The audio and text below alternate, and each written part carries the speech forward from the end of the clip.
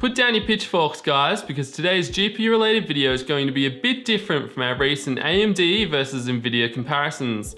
Instead of picking a pair of graphics cards targeting a certain price range, we'll be comparing AMD's Radeon 300 series to determine which offers gamers the most bang for their buck at the highly popular 1080p resolution. This means we'll be heavily focused on price versus performance. As always, I'll be using newegg.com as my baseline for pricing, and therefore all prices will be based on the US currency.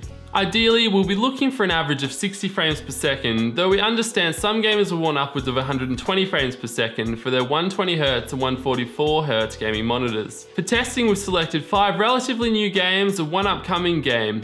Battlefield 4, The Witcher 3 Wild Hunt, Watch Dogs, Thief, Dragon Age Inquisition, and the early access title is Ashes of the Singularity, which has been tested using DirectX 12. Fraps was used to measure frame rate performance, and we recorded 90 seconds of gameplay in each game. That said, please note Ashes of the Singularity was tested using the built-in benchmark as Fraps doesn't work yet under DirectX 12. Also, to be absolutely clear, the gameplay wasn't recorded using Fraps, just the frame rates. there was no impact on the gaming performance. So resist flaming me in the comments section if you can. Additionally, all graphics cards used were clocked according to the default AMD specifications, and overclocking performance won't be taken into account here. Testing takes place exclusively at 1080p using a Core i5 6600K processor with the latest graphics card and system drivers under Windows 10. First up in our benchmarks, we have Ashes of the Singularity, which as I mentioned isn't actually released yet, though the early access build is quite stable and AMD is already delivering some very solid DirectX 12 performance. Since DirectX 12 doesn't rely on the display driver for performance optimizations like DirectX 11 does, things shouldn't change too much. Anyway, since this is one of the first DirectX 12 games to become available through early access, and it features a great built-in benchmark, we decided to include it. As you can see, this highly demanding video game calls for quite a bit of GPU power even at 1080p. The Radeon R9 380 was overwhelmed with an average of just 26 frames per second. That said, the 390 did a lot better, producing 41 frames per second, making it just 3 frames per second slower than the 390X, and not a great deal slower than the 53 frames per second of the Fury X.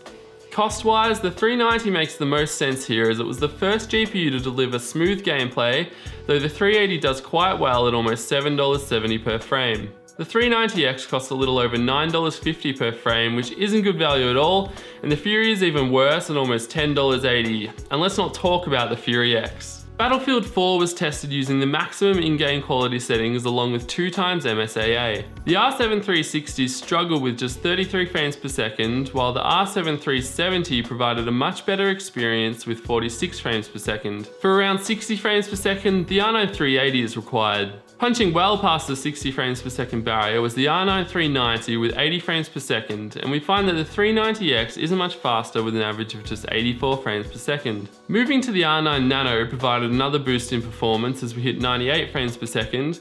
The standard Fury proved to be very fast with 100 frames per second, while the Fury X was good for 108 frames per second. Now let's look at how much each frame is costing you for each card. The $650 Fury X came at a cost of $6 per frame, while the Fury was considerably better value at $5.50 per frame.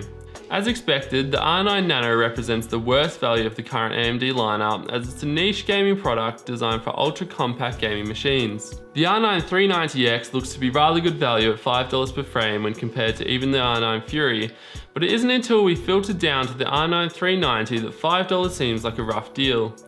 This is because the R9 390 comes at a cost of $3.75 per frame, making it 25% better value than the R9 390 and a little over 30% better value than the R9 Fury. The R9 380 was better value again, and we found that the R9 380, R7 370 and R9 360 all delivered a similar price per frame. That said, the R7 360 was too slow at 1080p using the maximum quality settings, and the same really applies to the R7 370 as well. Dragon Age Inquisition played surprisingly well on the R7 360 considering the quality settings. Disabling anti-aliasing would probably be enough for smooth gameplay as it managed 31 frames per second with 2 times MSAA enabled.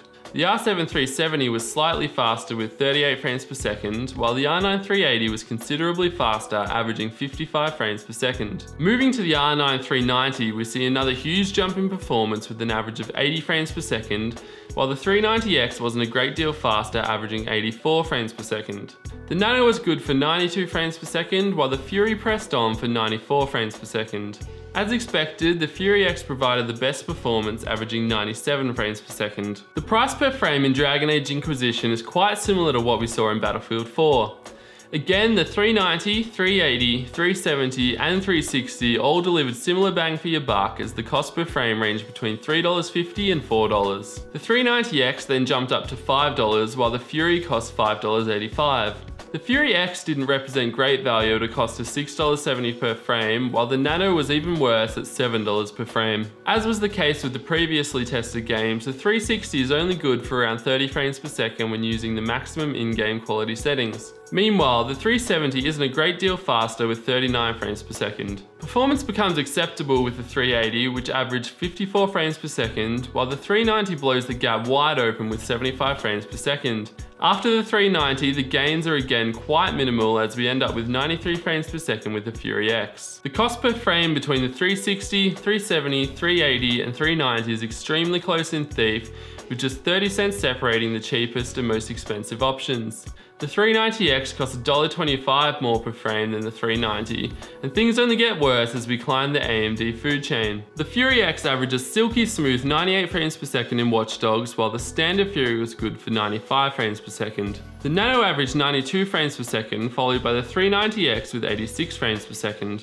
Once again, the 390 was within striking range of the 390X as an average 80 frames per second. From there, we drop all the way down to 56 frames per second with the 380 and then down to 41 frames per second with the 370. The 360 was unable to handle the maximum in-game quality settings as it averaged just 26 frames per second. The 360's sluggish performance in Watch Dogs hurt its price per frame rating making it only slightly better than the 390X. Again, the 380 delivered the most bang for your buck though it was closely followed by the 370 and 390. The Witcher 3 Wild Hunt was tested with all the eye candy turned on, which included Hairworks, which runs very well on AMD hardware now, thanks to a number of game optimizations over the past few months. Even so, the 360 was written off with just 21 frames per second, and the 370 wasn't much better as it averaged just 29 frames per second. Even the 380 struggled here, though it was technically playable at 37 frames per second. That said, the 390 delivered a noticeably better experience with 54 frames per second, while the Fury X wasn't a great deal faster with 68 frames per second. Here we see that the 360, 370, 380 and 390 all came at a similar cost per frame at around $5 to $5.50. The Nano doubled that figure as it blew out to $10 per frame and the Fury X wasn't much better at $9.55 per frame. Measuring the cost per frame isn't something I've done before but I found it to be very interesting and I hope you guys did as well. Obviously this data is highly dependent on the price we set for each graphics card, and that being the case we went with what we believe to be the typical asking price for each card and excluded any sales or rebates. Although we didn't test a huge range of games, the six games that we did test with provided fairly consistent results and should paint an accurate picture. The card that delivered the best bang for your buck was the Radeon R9 380. Overall, it came at a cost of $3.94 per frame, assuming a purchase price of $200, and with an average of 52 frames per second, it was just fast enough for perfectly smooth gameplay at 1080p with all the eye candy turned up. The R7 370 was a close second at $3.97 per frame, though it only averaged 39 frames per second, making it a bit too slow for smooth 1080p gaming. That said, if you only have around $150 to spend, then it does represent exceptional value. Just be prepared to scale down some of the quality settings. The only other worthwhile alternative is the Radeon R9 390, which provided a little over 40% more performance than the 380 on average, while costing just 6% more per frame. Assuming a purchase price of $300, the 390 costs on average $4.16 per frame, which is remarkable value. Beyond that, things got out of control with the 390X costing almost $5.50 per frame, the Fury around $6.30 per frame, and the Fury X over $7 per frame. Therefore, we recommend the Radeon R9 380 as the best value AMD graphics card for 1080p gaming. Note we tested the 2GB model as we feel it represents the best value, especially at 1080p, but if you can get the 4GB version for a similar price, then by all means do so. Just be careful about paying a notable premium for a larger memory buffer that you likely won't use. If you can foot the bill for the 390, then we suggest you do it as it works out to be roughly the same in terms of value, but you end up with a better gaming experience. Finally, for those of you that want to study the graphs in a more practical format, we've uploaded them all to our forum at hardwareunboxed.com, so be sure to check that out.